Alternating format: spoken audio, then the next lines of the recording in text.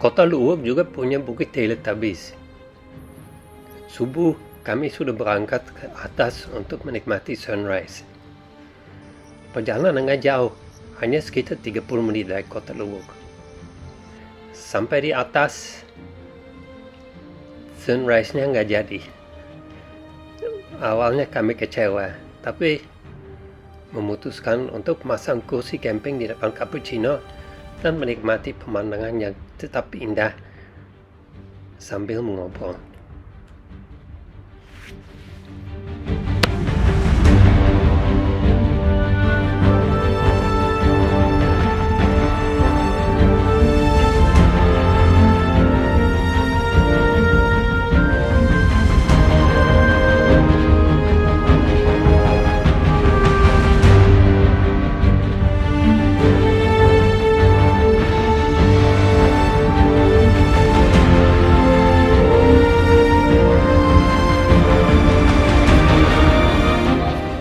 Saja sedang meeting di Bali, saya ajak anak-anak ke Pulau Banggai.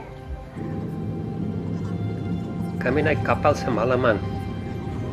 Dan sudah sampai di pulau, kami menyewa mobil untuk explore. Pulaunya cukup cantik dan agak laid back, santai. Itu kami habiskan cuma sehari untuk keliling.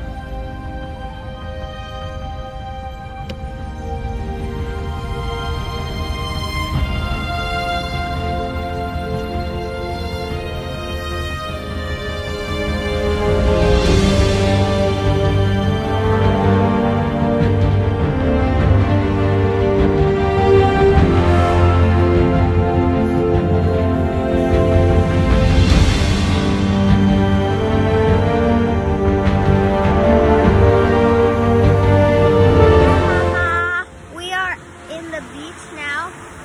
Yeah. And the beach is so pretty. Okay. And we got the whole place to ourselves. No one else is here. It's so pretty. We went snorkeling and we just swim around as well. And it's I am cool. bye bye. Love you. Miss you, Mama. So much. So. And the the it, the the pasir is so soft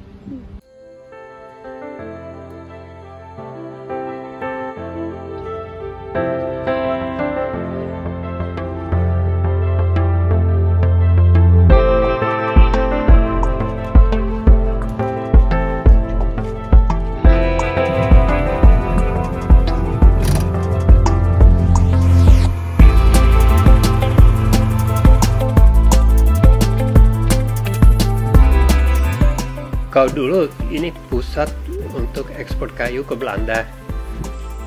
Tapi saat ini bukan kayu yang diekspor, tapi jagung dan kopra.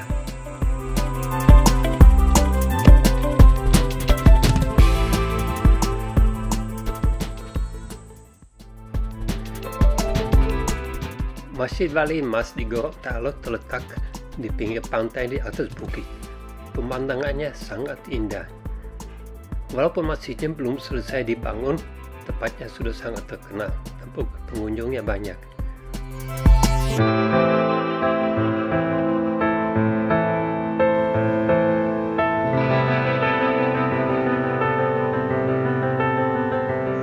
Uh, ini adalah uh, walimah, adalah ikon Gorontalo.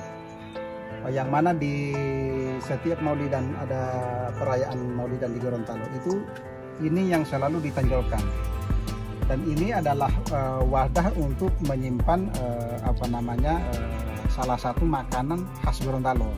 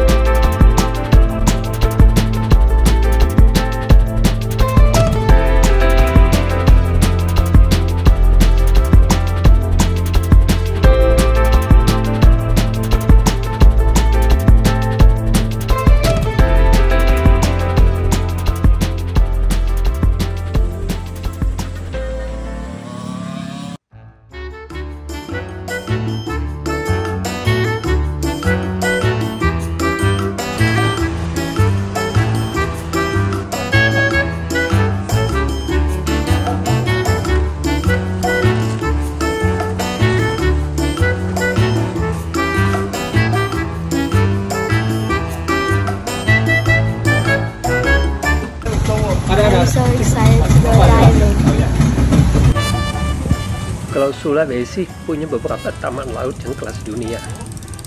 Nah, karena itu kami selalu coba selipin kegiatan snorkeling atau diving saat perjalanan. Nah, itu nggak selalu gampang kan kita menyesuaikan dengan cuaca dan dengan lokasi di mana kami berada. Tapi kali ini di Gorontalo uh, tepatnya sangat pas pas di luar kota gitu kami cuma naik perahu sekitar setengah jam sudah sampai di lokasi diving yang sangat cantik.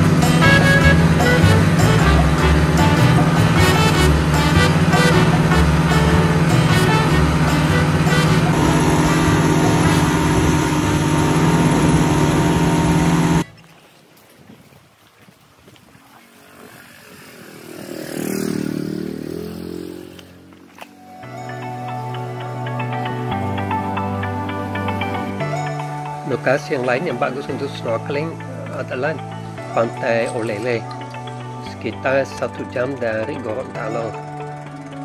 Desanya kecil dan di sana kita bisa langsung snorkeling dari pantai atau sewa perahu kecil dengan pemandu untuk keliling-keliling.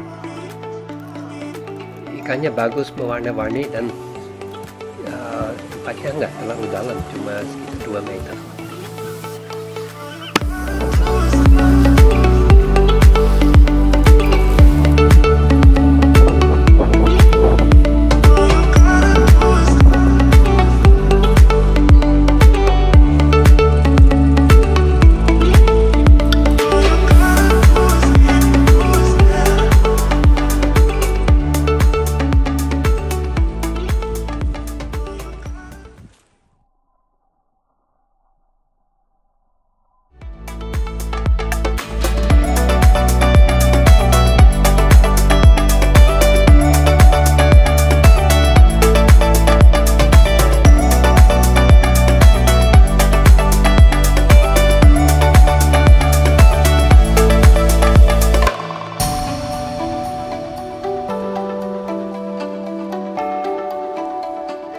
Di Tumohon ada banyak uh, tempat yang bagus. Cuma karena kami sudah kangen dengan camping, kami mencari lokasi yang sesuai. Akhirnya kami ketemu Danau Linau yang hanya sekitar 20 menit dari kota Tumohon. Di sini ada asap belerang yang muncul di pinggir danau di beberapa titik. Nah itu yang membuat uh, ya suasana lumayan unik pada pagi dan sore hari.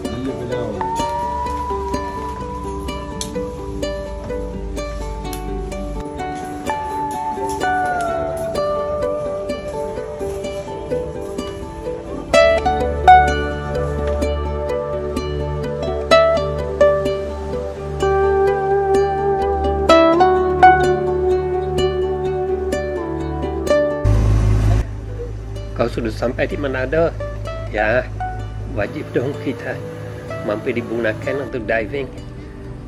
Selain tempatnya sangat dekat dengan kota Manado, hanya sekitar 40 menit. Uh, itu memang salah satu tempat yang dari dulu sudah terkenal di dunia sebagai spot diving yang kelas internasional. Nah, di sini yang paling terkenal adalah diving dengan penyu, binatang yang sangat santai dan tidak terlalu takut dengan manusia. Dan itu kami bisa dengan mudah mendekatinya.